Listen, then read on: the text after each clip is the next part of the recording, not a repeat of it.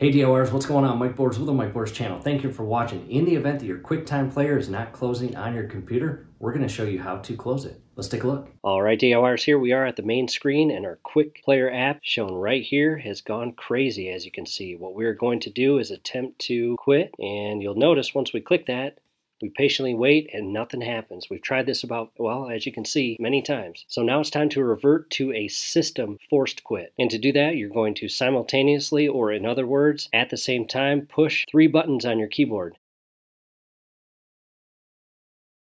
Option, Command, and Escape. As you can see here, it comes up. In our case, QuickTime Player, we are going to force quit. And do you want to force QuickTime Player to quit?